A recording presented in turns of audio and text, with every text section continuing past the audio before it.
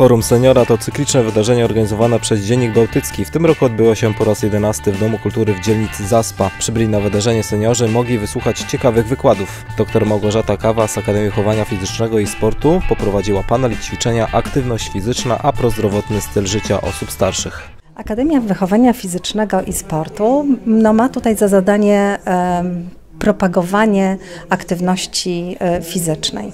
Ponieważ mamy społeczeństwo e, z hipokinezją, czyli z brakiem tej aktywności fizycznej, ja będę tutaj zachęcała seniorów e, do tego, aby wykorzystywali różne formy aktywności fizycznej do zwiększenia masy siły mięśniowej, która jest tak ważna w niezależności życia, a to jest dla nich bardzo ważne, bo wzrasta, wzrasta ich wartość, mogą wyjść z osobami e, innymi na, na różne spotkania, nie zamykają się e, w domach, ponieważ społeczeństwo się starzeje, e, żyjemy coraz dłużej, więc musimy zadbać o tych seniorów, żeby byli sprawni przede wszystkim, samodzielni i mieli poczucie dobrej jakości życia. Musimy pracować nad naszym zdrowiem i nad naszą sylwetką.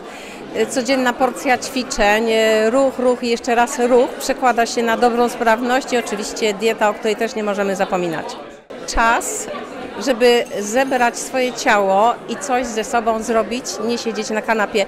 To jest najgorsza opcja dla seniora, jaka w ogóle może być.